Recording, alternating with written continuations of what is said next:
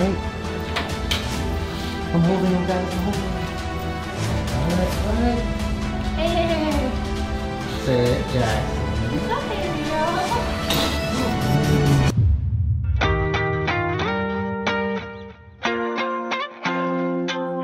What is up guys? Welcome back to the channel. I hope you are having an amazing day today. In today's video, I'm going to be talking about how we introduced Jaxon to a three month old kitten named Leo. Disclaimer, I am no expert in introducing dogs to cats. I'm only going to be sharing my experience, our experience with introducing the two, what worked for us, and just because something worked for us, it may not work for you guys, but hopefully you guys can get something from our experience and what is currently happening. So please take this with a grain of salt. So number one, we were very observant in watching their body language, both Jaxon's and Leo. If Leo was hissing or trying to get away or the hair on Leo's back was standing up, obviously that was just a sign that Leo was very stressed or in distress and Jaxon, he loves to play. He loves to get very overly excited. And so when he's very excited, we really like to keep our distance, keep those two their distances from each other, just so Jaxon doesn't get too crazy and eventually stress out Leo.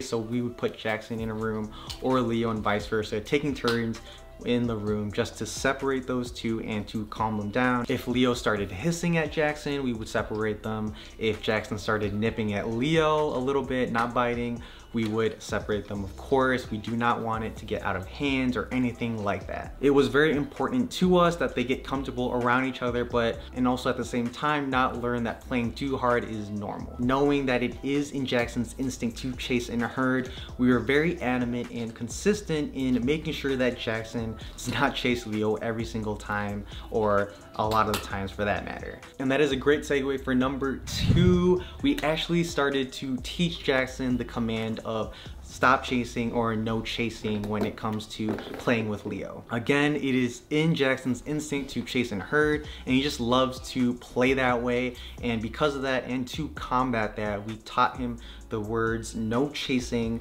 every single time he started to chase Leo or was about to, we would actually hold him down, say no chasing, and then after a little bit, we would let him go. But again, we were very consistent because even though that could be seen as very playful, Jaxon, I, I know him, he's very consistent in herd in chasing and doing all that stuff. And if Leo is running around constantly, eventually it can be very stressful for Leo, for a kitten in general. And so we were really consistent and we're still working on it to stop Jaxon from chasing every single time. As I am filming this, it has been a week of basically teaching and training Jaxon not to chase.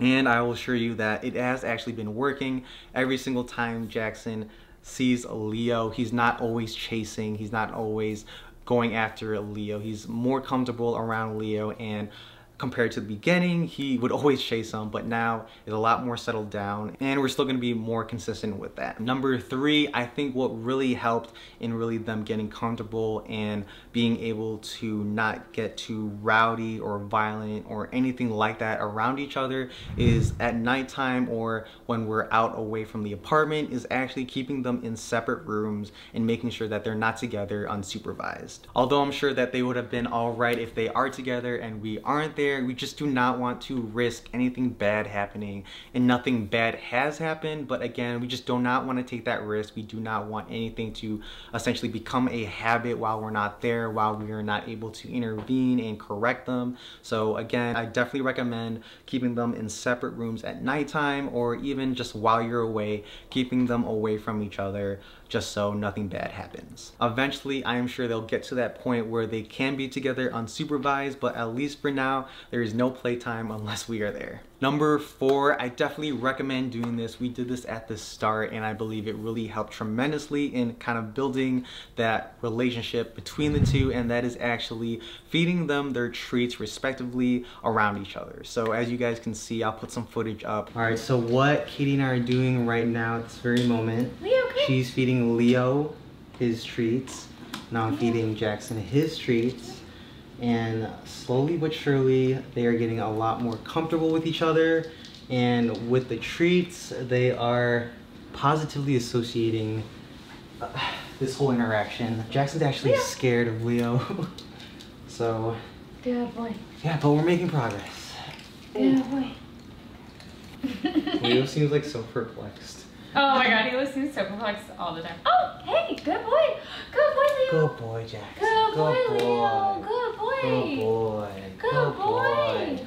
And this way, it kind of subconsciously tells them that, you know, everything is all right. There's no need to be afraid. There's no need to be scared or anything like that of each other, as this is a safe space. So, again going back to what i've kind of preached in my past videos it is all about positive association and by giving them treats it shows them that this is a positive scenario this is a positive interaction and thus they'll be more comfortable with each other and eventually be able to sleep nap and do whatever they can unsupervised. And number five lastly it is all about patience and consistency. Even though i feel like jaxon and leo got really comfortable really fast and i think we just got lucky it does take time for a puppy dog and a kitten and a cat to really get used to each other. Like i think we just got lucky because leo is still a kitten so he's still in that socialization slash learning phase. And so he had no bad experience prior to jaxon to really combat a positive association with jaxon. Uh, jaxon like he is still learning. He's a very smart dog so obviously like he still herds and chases but at the end of the day like he knows what he's doing. He knows not to chase. He knows not to do that. But again i just got to be consistent. I got to be patient. And that is one thing. You guys are going to take away anything from our experience with introducing these two is that it takes a lot of patience and it's you got to be consistent with everything with correcting with uh, feeding petting just any interaction between the two you want to correct and you want to be consistent with that. But yeah guys if you have any stories or questions or comments about what has happened this week with jaxon and leo please leave them down below in the comment section as i'm happy to interact with you guys to help you guys out in any way shape or form if you guys could leave a like on this video it would mean a lot to jaxon and me as it really helps in the YouTube algorithm to spreading this video to other people.